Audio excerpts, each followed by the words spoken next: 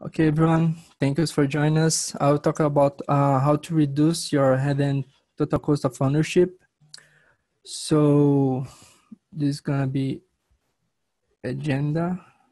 How can the Ateme video quality leadership, then how to save through better compression, saving through your infrastructure, new technologies, and partnership. So let's talk. start talking about Ateme. Uh, just a quick refresh. Uh, Ateme is a public company since 2014, but we operate in, uh, the whole world. We have uh, operations in 18 countries uh, with uh, local support and sales guys. We also have almost 30 years of expertise in video compression and video delivery. So Ateme is a company that develops software delivery and software uh, software video compression uh, targeting for live or on-demand video delivery while preserving the picture quality. Uh, what we have, what we offer, we offer a Titan solution, which is um, capable of receiving whichever uh, we talk about on uh, on terms of input. It can be like some ARC input, some playout, some file, some live streams, uh, uh, contribution inputs, whatever and then we can deliver that for whatever the format that you need on the output, like OTT, IPTV, DTH, wherever. Um, so uh, we at the time we have a dedicated team just for video processing. What those guys do, we have more than 10 experts. We always, every year, increase the number of guys there. So the guys, they all have to uh, improve our um, codec quality, our implementation quality of the codec, we always optimize the video quality, we always optimize the algorithms. Uh, we are always uh, working also with uh, the new technologies. We have advanced research on machine learning, on uh, artificial intelligence. We contribute with the new standards. We have uh, we follow all, all standards uh, forum like the SMPTE, DVB, etc. So we are part of all forums. We have some, we have innovative team just to follow the new standards, the new um, codecs, and also we have a video processing team just focused on VQ improvement. Those things they work close, and also we have more teams for like the old R&D guys, which works on other features and improvements on the overall platform. But we have this dedicated team just for video quality. So uh, this team, this the rule is to improve and um, uh, research how we can um, adapt new adapt and use new tools for improving video quality. I have uh, some examples of the tools that we use uh, to improve the, this quality and and to uh, improve the quality of every codec that we have. Not only, I mean, we don't uh, we, everything that we do for every improvement that we got for one specific profile codec, we can adapt and, and, and, and use that same improvement on other types of codecs. So we have some tools that we use uh, internally uh, that we use to improve the quality of uh, the image. But I wanted to mention as this new psychovisual mode that we have for as an example of those tools. Uh, we had a former psychovisual model this model, we use it to have the same amount of uh, bitrate spread on the, the full image. So you, you had the quality, overall quality, uh, but it was not maximized. It was okay, you could see everything that you needed to see. The, as example, this soccer game, you could see the grass, you could see the audience, you could see the scores. But we we we thought that it we could improve that. It could be much better. So we focused on trying to improve where uh, the human eye was focused. So as when we are watching a soccer game, we focus more on the players, on the ball, on, on the grass, on the field, and not so much on the, the audience. So with this, uh, this new model, we could improve the quality of what we what the human eye perceives. So we have much more bitrate on the field itself than on on on the audience. I I I I, I don't mean that um, the audience will not it will be a, a bad image you have the same quality as you you, you had uh, before but as we are focusing on the best perceptual quality that we could deliver for the, our customer so the idea was to put more um, more bitrate on the texture on the grass on the players on uh, every detail that we can perceive with our eyes because we are focused on, on that part. So we can still um, keep the logos, we can still keep the scores, but we have an overall uh, perception of improvement on this. So this applies for every codec that we have, and is already available from the Titan Live. Um, why is it important to have a a team dedicated to improve the video quality, to improve the video compression. Because most of the use cases that you have today are, let's say, limited. I thought uh, I'll get a, an example: cable, uh, DTH, and DTT, for instance. Uh, you have a limited BW, BW. You have a limited bandwidth or a limited number of transponders that you can use but you always need to put more content on it or you always need to in case of cable sometimes you need to to to have more uh more space for other services than video so uh usually the the pain points are almost the same. In this case if you need to have more channels you cannot go and just okay i need a new transponder or i need a new a new frequency. You need to increase your density but usually when you increase your density you lose you lose uh, you lose quality. So if you have a better compression and i mean a better compression is not a better uh, uh something will compress more and give uh, uh, worse results i mean if you have a better compression you can compress more have more intelligence on the compression side so you see the same quality on the on your deliver or even a better quality with less bitrate. So for those cases, you could also you could have more channels on each one. You could free some transponders. You could uh, start new services on it, for instance. And also for um, another example for OTT, where you can have more uh, bitrate, you can have more services. It's easier to to expand that but it has a cost. You have a CDN cost.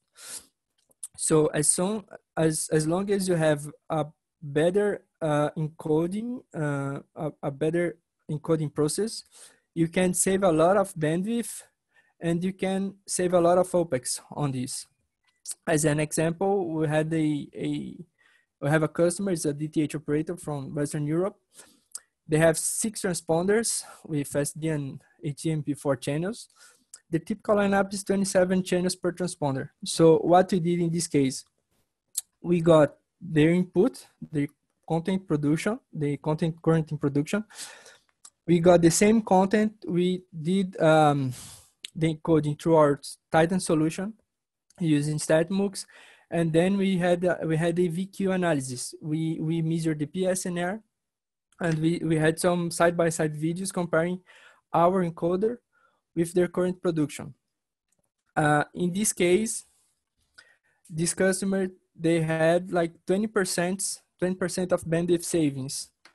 What is this? This is an opportunity to save like one transponders and then they could return this transponder or they could add more channels to design up or even launch some new 3G channels. So they could, with the same, uh, the same bitrate, the same number of, uh, uh, the same BW, the same uh, transponders, the same bitrate that they have, they could increase the number of channels. Usually, this is something uh, that we see every day. Every every operator is increasing the number of channels or trying to launch new new channels, but they don't have space for that. So as soon as you have a better compression tool, you can have you can keep like uh, you can improve your quality to your customer or you can add more channels keeping the same quality and keeping the same quality without including more channels means that you can include new kinds of services you could have some UTG or in the case of cable operator can free some some frequency for IP and there's another example it's a cable this one is a cable operator for and it operates with MPEG-2. They have 16 channels. They had 16 channels per QAM, and we had the same uh, the same um, the same approach. We got the the production. We had the comparison with it. This is for MPEG-2, and in this case, we could have we had 25% of uh, bandwidth savings. So even if this is MPEG-2, we could improve it because we everything that we do for H.264 of HEVC, we can apply for MPEG-2. So every decision tool that we have, that we make and that we improve on our uh, video compression team, we can apply to all codecs. So uh, even if MPEG-2 is not, it's an old codec, let's call it like that, we can still improve it. So in this case, the customer, he could uh, free some some QAM, uh, and then could launch more services on on other on on on like they could add more services. In this case, they could add up to they could add four services um, for QAM, or they could have they could they could keep the, the same quality or adding one or two more channels, improving the quality, and add, adding some other type of service like a U3G or something like that. And another example, this is a CDN for for the OTT uh, use case. We had some CDN sa savings. We have a, a telco operator. He launched the OTT service five years ago. They have a they have 20k titles on their catalog. This is a VOD catalog and just by using our Titan MPEG-4, our solution, we could decrease the number, we could decrease the bitrate that they were using, keeping the same uh, profiles ladder. So they were using nine profiles with 30 megabits. We could save almost 8% or 7.5% just by replacing their current um, uh, encoding with a TEM encoder, MPEG-4 encoder. Uh, this is this was made without applying any other of uh, any other um, uh, advanced feature that we have on our encoders, just the pure MPEG-4 encoder that we have. And then we went further on this. We did, we did this first part. Okay, we can keep the same profiles. We can save a little bit of um, of bitrate.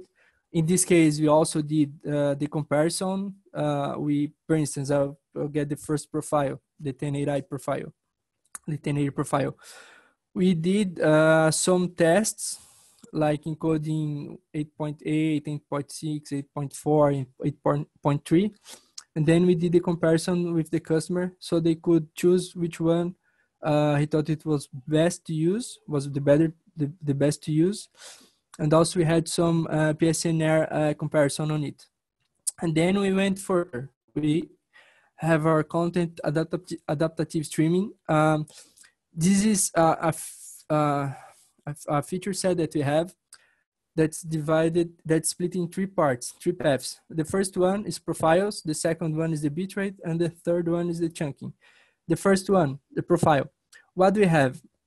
We have a tool that we can, uh, we analyze a lot of uh, assets and base it on their um, complexity, we developed a PKA index so we can we can know um, we can we can um, we can put a score on a on a type of asset and based on its complexity.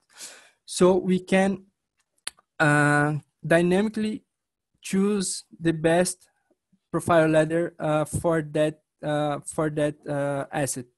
So if uh, we can if let's say if it's a movie or if a soccer game or a tv show we can choose the best um, uh, the best profiles and bitrate that will give the customer the, the best uh, possible uh, experience when he was he he will, he will be watching that also for the bitrate we have a constant quality rate feature on, on which we will allocate the bits on the more complex sense and on the easy sense that they don't need much bits we will not use that much of uh, bitrate for that. So um, in case you have like a, a, fade to black or something like that, you don't need to use like 10 megabits on that SAN. You can go like one megabit, two megabits. And when we have an explosion and the profile is 10 megabits, we might use the 10 megabits to, to encode that SAN. And there's a third one, which is the dynamic chunking. Um, when we talk about chunking for OTT delivery, we have we have to start a, a, a chunk with an IDR frame. So sometimes uh, we just finish a chunk with an iframe, and the iframes are the, the largest one. So the, the ones that needs more bitrate. So what, what we do in this case, instead of keeping the chunks, uh, the, the, the length of the chunks the same, we can, okay, in the, with uh, like the example, in nine seconds, I need to have a iframe can I put an IDR here and close these chunks? Yes, we can do that. So we can save that amount of bit that we would like uh, use on the end of a chunk, and then in like one or two frames, we would have we would need that uh, amount of bits again. So we can close that chunk there, and we keep uh, we keep uh, encoding the other and creating the other chunks. In this case, we could have like the minimum and maximum duration of each chunk so the encoder can have um, can choose between this interval. Uh, on this slide, I presented what I told for the first part, the encoding one. So we have this, we have, uh, we, analyze, we analyze more than 10,000 assets. We build this, uh, this uh, database of VQ index. So based on the input that we have, we can choose and tell uh, which is the best codec that the best um, not codec the best um, encoding ladder that you should use the profiles and the bitrate for each kind of content. This is applicable more for um, VOD for offline content. Uh, for online for live content you usually uh, use the same idea the same um, same index based on the live input. But we don't do live uh, change of on the profiles. So if you have a sports channel, we know that we could use uh, a set of uh, um, a set of uh, profiles and, and bit rates that we could apply for that kind of content. So we we we suggest that to, to the customer. This is an example of the CQ, CQR, the constant quality rate feature. So in this case, the left image was the CBR the normal CBR content with five megabits. Uh, the second one, the the right, the no, the lefty, the other, the right one, is the one with the CQR feature. In this case, you can see that you have the same quality on both images. However, the image to, to your right is the one that you are applying the CQR. It's using only the, the, the bitrate that it needs to, to, to deliver that SAN and in this case, you are saving almost 50% of the bitrate just in one SAN. And you see the same content, the, both images have the same quality. So this is uh, an important tool to to save uh, to save uh, for for for for instance for CDN delivery. And now when we apply all the features, all those features, we could go from the nine profiles to eight profiles we had some changes on bitrate and we were saving 30% on uh, on on bitrate. So 30 okay, 30% is a nice number, but how can we check that in, in numbers, in, in, in amount, in, in, in dollars? So we had a some assumptions for like okay, these uh, the assumptions can can change from from from country and from CDN provider. But usually if I have uh, one cent per, per gigabit, I have these four, four dollars per month for, of storage. The catalog size of that customer was 20, 20K items. Um, usually they have 1000 views per month and the duration of it uh, if, if each uh, each uh, content if it's around 60 seconds we did some calculations here so usually in production, the customer was used to paying like 1.1 million dollar per month just applying the MPEG-4 the our encoder, our MPEG-4 encoder. It decreased to it decreased in 9 90k and also when you talk about having all the features we could have $356,000 monthly of savings just by applying just by changing um, the encoding provided the encoding the encoding capacity uh, let me move also we can we have some um, we have some some white papers that you can you can you can download from the TEM website.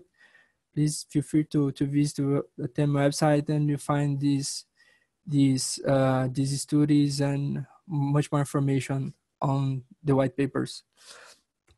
And now moving to saving through your infrastructure. Okay, uh, we are talking about a software, a pure software solution. A pure software solution, agnostic hardware, agnostic cloud, uh, cloud agnostic one, a hardware agnostic one. So usually what we see on a normal headend, the common headend, unusual headend, is that you have some silos. You have a lot of IRDs delivering some SDI or maybe IP for the encoders. Uh, then you have, if you have SDI, you have some logo inserters, you have some audio loudness control, and then you go to the encoder, you have a lot of multi-viewers there. Then to the IP switch, to the multiplex, and until to, to, to the final deliver.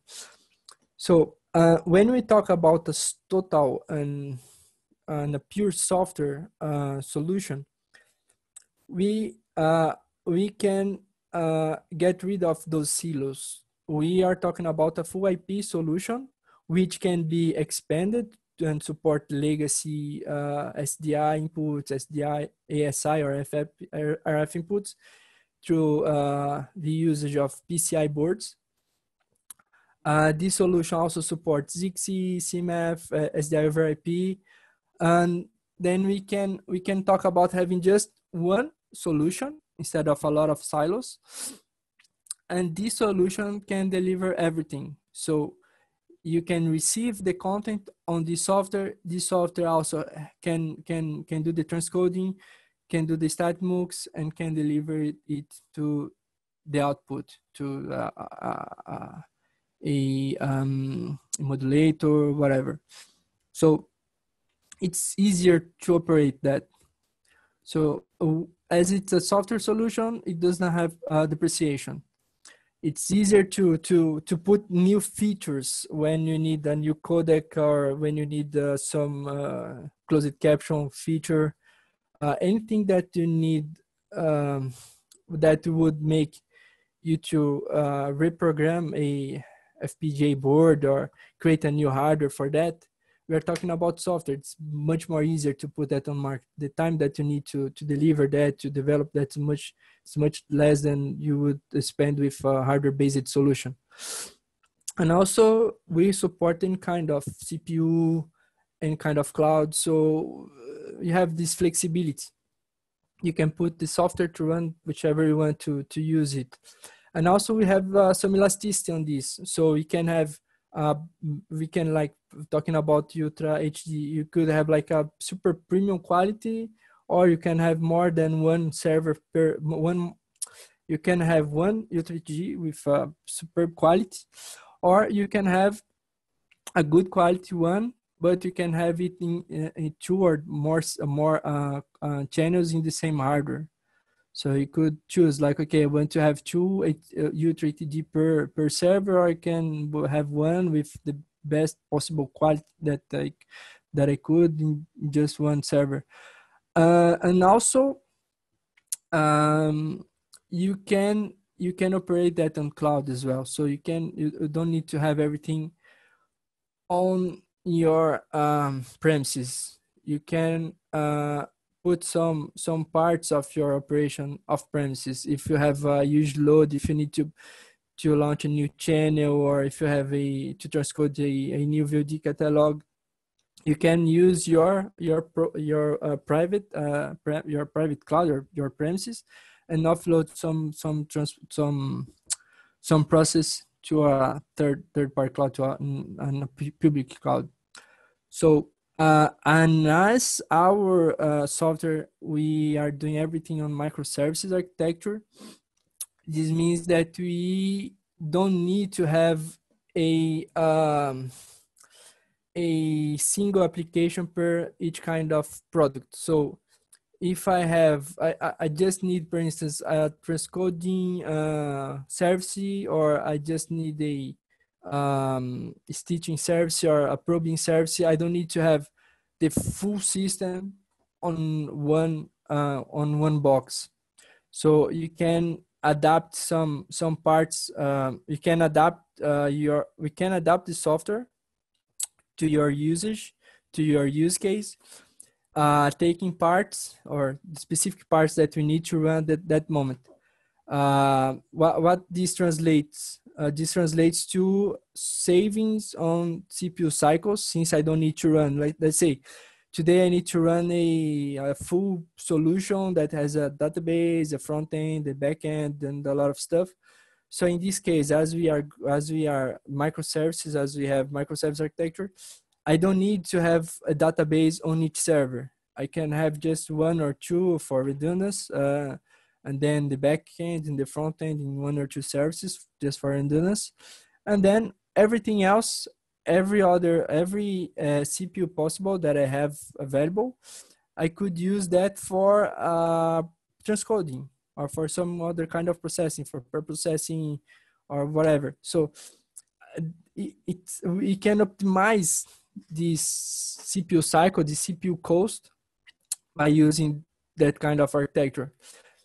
And this will reduce the number of servers that you need on your premises. You can save on CapEx. Uh, as you have less servers, you don't need to, your, your operation will be easier uh, since you don't need to monitor and check server by server, just, list, just you don't have like 100 server or more, just have less servers. Um, you can optimize your cloud when you go to cloud. You know that you have some more costs involved. So if you just use the cloud with the thing that you really we really need use on it when we offload some some processing we are not offloading the, a full machine to it. We are not uplo- offloading a database, a front end, the back end, etc. We are just offloading the processing, the video process, for instance. So I can uh, I can keep my cloud usage low. I don't need to put everything on it uh, and let it run forever. I just need to uh, offload my encoding process, and then when it ends, we can shut that encoder down and bring that everything to, to back to your on premises uh, uh, structure. And also, um, as we use uh, less less servers, uh, we are um, uh, when, as we use less servers, we can increase the density. We can uh, let's say that the footprint of the consumption the the cooling facility, the cooling um, potency, uh, the air con- the air conditioning system will be will be less powerful than to, than we we we had it today, for instance. And also, as it's a software, we are writing the Moore's law, so we can actually we can we can um, we can benefit from it a lot. So if today I can like I can have a server. The current server can run like two two Ultra HD two Ultra HD services.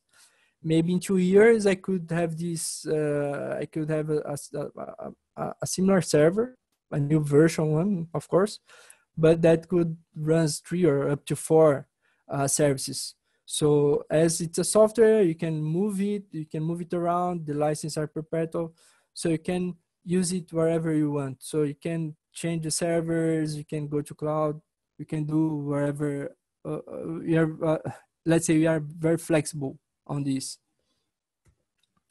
And saving through new technologies. Okay, uh, let's start with HVC. Okay, HVC is not, uh, let's say, a new technology, but uh, I, I mean, we we we have seen some uh, new uh, deployments on HVC, but most cases are still on MPEG 2 or MPEG 4 because of legacy uh, set-top boxes. Uh, we need more powerful device. But when we talk about 4K resolution, need to go on HEVC. But the idea from HEVC is to have up to 50% comparing to H.264. So it's something that it's already there. We can use today, and this can apply uh, as a as a um, a savings. When you talk about bitrate savings, if you talk about a, a cable operator or DTH operator, you can launch if you have 50% comparing to H.264 you have you could have double of uh, of services on it. It's uh, it's already proven. We we have some some uh, customers using that some isps service providers uh, contribution links we have a lot uh, what I, i've seen a lot it's contribution links with hvc when you talk about cdn as well we have ott delivery we can have less profiles. We can save uh, up to 75% of uh, traffic and cache and storage and whatever. So it's a it's a technology. It's not so new, but you can still use it to to to benefit from savings uh, on on transcoding on on, on sorry on on delivering. Also, we have the SHEVC, uh, it's something useful for ATSC 3.0. Uh, the SHEVC it's a way to encode at the same time you have a HD, a normal HD one in ATVC, and we have a uh, enhanced layer, UHD with HDR and everything else. You can guarantee that you always deliver the HD on a robust uh, signal. It will be everyone will have uh, access to the HD system, to the HD content, and the others that can receive the enhanced layer can have access to to the better layer and can watch uh, the same content, the same channel in, in 4K. Uh, this is something new, uh, something that is being deployed for ATSC 3.0. Uh, but it's also a new way to, to show that we can uh, with new technologies, when you are talking about ATSC, we are talking about a single uh, frequency. We cannot go more than that frequency. And you can have like two channels there with 4K and with a better compression quality. We can deliver. We can deliver that. You could not. Maybe you could not deliver a, a, the enhanced layer if you had to use most of the bitrate just for the HD content. And also, another technologies is um, let's say this is new really new is the av1 codec it's a royalty free codec uh, the idea is to save up to 50% comparing to H.264 Ateme is one of uh, their uh, of uh, on these on these on these uh, uh, on this forum is part of the alliance for open media uh, we are seeing already some some device supporting this AV1. It has support to UHD and HDR. Uh, we have on this Alliance for Open Media, we have a group just to avoid the uh, the patent infringements. And in case you have a lawsuit, we have a group uh, behind of that will support everyone. So it's another way. It's uh, let's say it's an alternative to HEVC uh, and also to reduce uh, and let's say at the, the same the same level to give you saves at the same level and you mitigate some risks that you may have with uh, HEVC. Also, the, the idea of the HEVC is to have a better quality, a better visual quality than HEVC. The V1, it's already better than the AVC, and the idea is to have the same or better quality, a visual better, a better visual quality than HEVC. And okay, what I'm talking about those new technologies that we at the time we uh, develop, we improve our codecs, but we don't uh, we don't choose a codec to deliver to the customer. We work with all codecs. So we already have MPEG-2, MPEG-4, HEVC, SHEVC, AV1, and we also worked on uh, with um, the standardization groups for AVC, for VVC, AV2, uh, the ones that could um, could attend the last uh, presentation from SASAM could see that we are working on a lot of the we are working a lot on those on those groups providing um, um, the first versions of the encoders for those kind of uh, new codecs. So we are still uh, adopting the, uh, what i'm seeing that we have customers still adopting HEVC or AV1 and we are talking and we are already talking about the evolution, the AVC, the VVC, the AV2.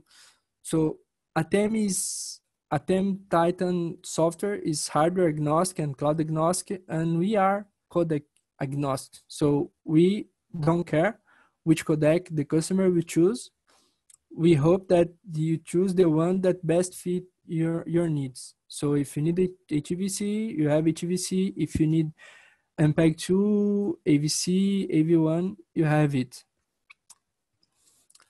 And also another way how we can help you save the, the costs through partnership. Usually we have the standard, uh, the industry standard is to offer a business model based on project. So we can offer that. We offer perpetual licenses uh, for SD channels, for HD channel, for Ultra HD channels the support every year and actually the customers can can can source some servers on us. This is what uh, i think every every vendor offers.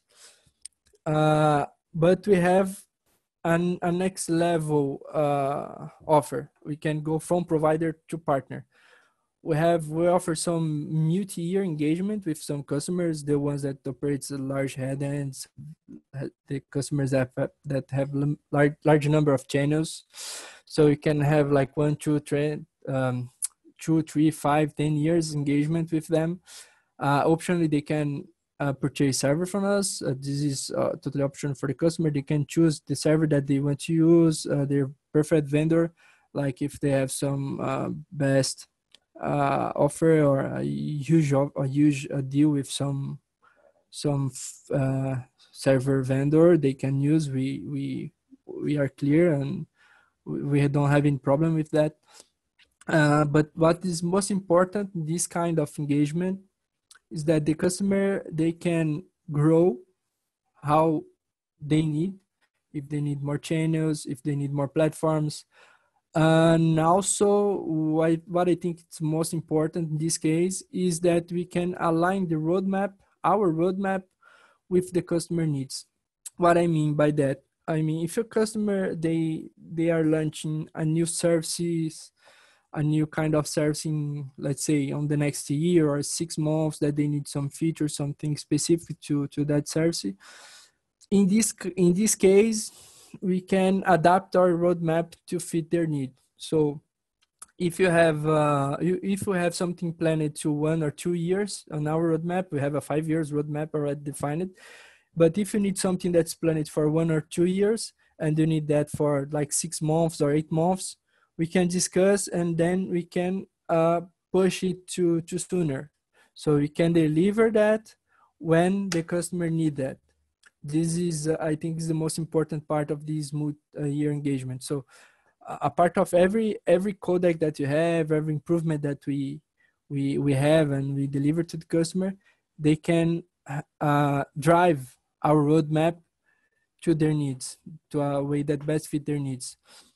And as an example of uh, this kind of deal we have a customer he needed to to improve their ATSC one 1.0 so we could include the, the titan live there the titan live solution uh, we at that moment we already improved what they needed. They could have 2HD plus 2SD per carrier, and the StatMux integrated, and also they migrate to the ATSC 3.0. It's already uh, ready for them. So uh, when they need to go there, we pushed our roadmap to deliver the SATVC, the MPEG-H, uh, the AC-4, and some other features that they needed. We could push it too soon than we were expecting to deliver that. So they can start the deploying the ATSC, the ATSC 3.0 when they need it. They will have everything read and also have some other features talking about OTT deliver that we are delivering. Uh, we are creating just for them that they asked. It, we saw that that could be could be done, and then we are delivering uh, based on their deadlines. So this is, uh, let's say, it's the best thing that they could have from us with this um, multi-year engagement contract. And uh, I think that's it. Uh, thank you. Sorry if I was speaking too too fast. I was worried about the timing. It's okay, Fabio. if you have questions. So we have uh, some questions on the QA. So I think you can see it. One of them is asking about uh, if the origin package should be support should should should be able to support the CQR mode. This was one of one of the questions that we have. And maybe maybe mm -hmm. we can go a little bit deeper on this one. We have 3 mm -hmm. three other questions here. So let, us go first okay. on this one. Okay. Uh, usually we can do two things. The first one, of course, um, the package must support it. Uh, it must support the CQR mode. Usually, what we see we, with the packages that we've been working, they support. And also, you can use uh, the Titan to already uh, output a packaged uh, uh, content. So the Titan can now can already deliver the Dash or HLS packaged content if DRM applied. So you can, in this case, you could deliver directly that to the origin if you don't need to, if you don't want to use a packager or if you have a, like a third party origin, if you want to deliver to a CDN or something like that, you can push it directly to them. Usually they need to support that, but based on the test that we have been doing, they all support it. Okay, I think it's clear. Another question that I have here is like, what kind of uh, cloud providers we, we, we support, we, we can work on? Okay. Uh, we have had deploy deployments with AWS, Azure, and Google Cloud. We have some testings on others, uh, but I don't have the, the results yet. We have some kind of uh, demos, uh, POCs running on other cloud providers, but those three that I mentioned are the ones that we have already some deployments and they are in production. Okay, good. And another one is they they are asking someone asking about uh, AV1 availability. When when we we I think you explained already on your presentation, but uh, let's say maybe set-top boxes will be ready for 2020. Do you want to go a little bit deeper on this one? Yeah, AV, we, we already, mm -hmm, we already have some some set-top boxes, uh, some chipsets in this year um, but we already have some deployments on on on on streaming platforms. We've seen some videos from i think netflix or youtube. They have some some some AV1 content. And on the encoding side we already have it for live content for sorry for vod content. It's already deployed. It's already in production for live we have a version on the innovation team we have a the production version and we have an innovation version. The innovation version already has this uh, this codec uh, done and we'll put it on we move it to the production version uh, throughout this year. Javier, there's a question about from Aftab about can software-based is software-based compression okay, and is hardware-based compression very stable? Can you explain the difference between those? Uh, well, yeah, the hardware base uh, is stable. Um, when you talk about, let's say, FPGA and everything, I, I think both are okay. Uh, the point is that when you talk about software compression, uh, of course, you rely on software on hardware capacity, could be GPU, could be pure CPU. Uh, and uh, I think the difference, the, the biggest difference here, I, I think about the biggest difference here is that when you need to when you need to have uh, when you need to create a new feature or you need to go to a new codec it's much easier it's much easier to to have it done. Let's say it's much easier or much or much faster to have it done on a software based uh, solution than on a hardware based one because on a hardware based one uh, if it's uh, let's say if you if you talk about uh, a chipset just for to doing something, if you have a H.264 chipset or a TVC chipset, when you have something new like AV1 for instance, you need to deliver a new one, a new hardware just to to to support that. And let's say that you are today we are talking about the VVC, AVC, and also the and also the AV2, for instance. Uh, when you start discussing about that, uh, you are right with the first versions that you do. You need to do some uh, some. Uh, there is a, a, specific word for that, but it's a it's a it's the first version of encoder to prove that we can deliver that, and also we can start developing the decoders. So this first one, it will take a lot of time to transcode any kind of uh, any kind of uh, of content because it will rely on the current hardware that you have. It's not gonna be uh, optimized. So like one minute video could take like 10 hours or 10 days um, uh, processing that. So you could not do that on a hardware one because you would need to review that hardware often.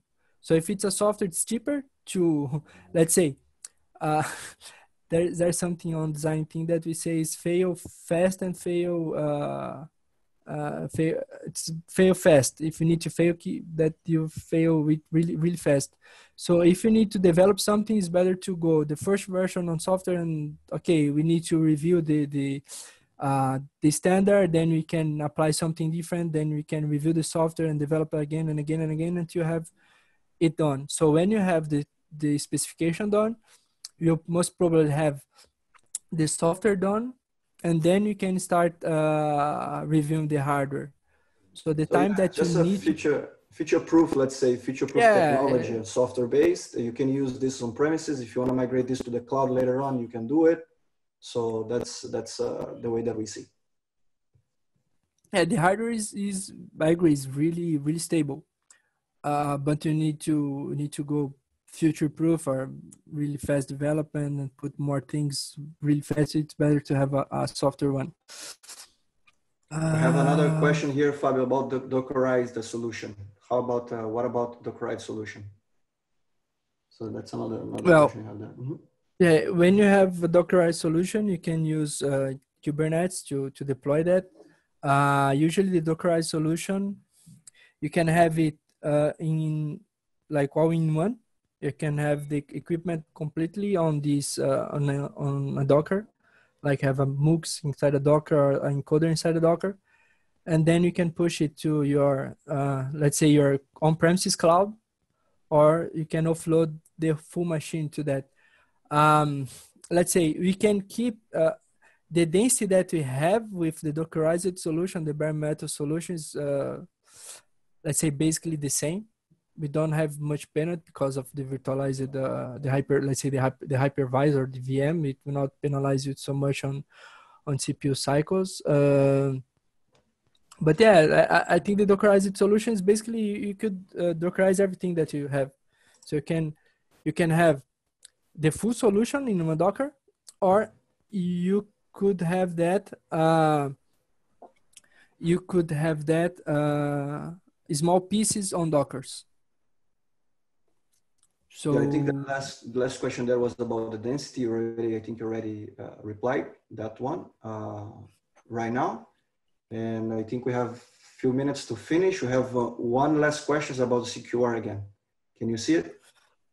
Yeah, yeah. Uh, okay. Uh, the CQR in this case is uh, most regarding video. However, we have some other features that we works, which is uh, we call VBR reservation. When you talk about audio, when you have like, if you don't need to have a CQR, you need to go VB, CBR, for instance, or have StatMux or or some other application.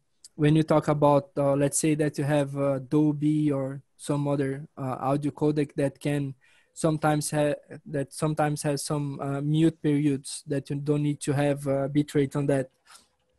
What we can do is we can use uh, that amount of bitrate that you are not using for audio, uh, since it's a um, it's kind of sided. So you can use that bitrate that you are not using for the audio, and we can put that that amount, that bitrate for video. So when you go CQR, we talk always about video only, but we have some other features that we can um, we can apply when we are talking about uh, when we want to save or put more content for for put more bitrate for video. We can rely on some periods that we don't have even some tables when we don't have SI or PSI tables at that moment or when we don't have to put audio on that moment, we can use that bitrate for, for video as well. But when you go on CQR, usually the bitrate uh, for the, the audio bitrate is, uh, is always CBR.